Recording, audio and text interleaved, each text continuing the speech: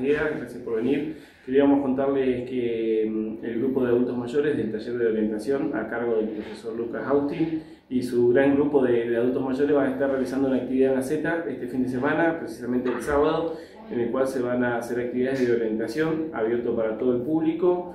La verdad que nos pone muy contentos, es un grupo que se lo ve trabajando todas las clases acá en la Secretaría de Deportes, van, vienen, hacen distintas actividades. Ya este año hicieron una búsqueda del tesoro en el centro que, fue muy linda, también organizada y coordinada por, por ellos mismos, a cargo del profesor. Eh, así que bueno, más que nada invitarlos a que se acerquen a la Z, a saber que van a tener esta actividad, acompañar a los adultos mayores, que es muy importante.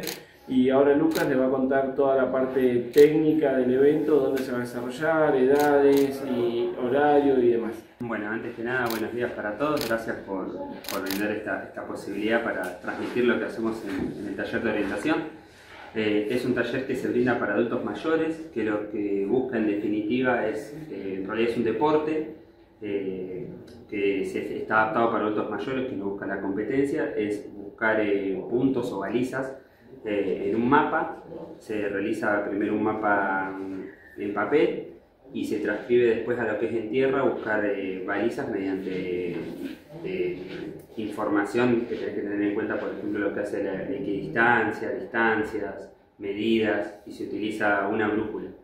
Se trabaja con brújula, se buscan los puntos en un recorrido y después se toma el tiempo total para saber bueno, los puestos de primero, segundo y llegada. Pero en realidad lo que se busca con, con este taller en la MUNI es brindarle un espacio a los adultos mayores y que puedan compartir en este caso, en este evento que se hace el sábado a las 11 en la Z, que puedan compartir un buen momento con las familias y que puedan darle difusión a, esta disciplina. Sí, sí, es para la familia. Eh, no necesariamente tenés que tener brújula porque el grupo de, adultos mayores puede, pueden acompañar también además de participar y explicar la utilización de la brújula, cómo buscar el norte, cómo orientarnos eh, en un espacio geográfico en base a, una carta, a una lectura de cartas. Se va a explicar también cómo, cómo se realizan las mediciones, cómo se busca el norte, cómo buscar las balizas, qué tipo de balizas, qué juegos se realiza en cada baliza.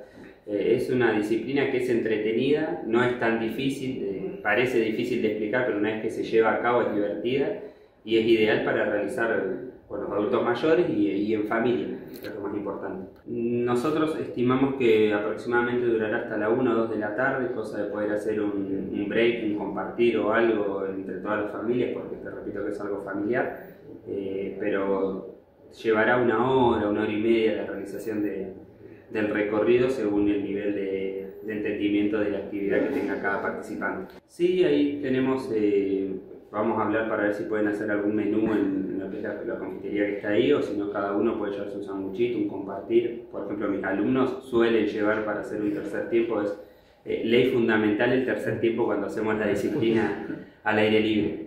Tenemos una prescripción que están por ahí el flyer compartido, así que ahora se los comparto para que lo pongamos de vuelta en las redes. Eh, es una prescripción, cosa de poder nosotros saber con qué cantidad de gente vamos a contar para la cantidad de recorridos, porque cada persona o cada participante tiene un recorrido diferente al otro, cada familia tiene un recorrido diferente en búsqueda de las balizas. Sí, el punto de encuentro va a ser en, la Laguna La. A las 11 de la mañana estamos previstos iniciar la, actividad de los recorridos y demás. En la playa, en la playa, en la parte donde está el parador.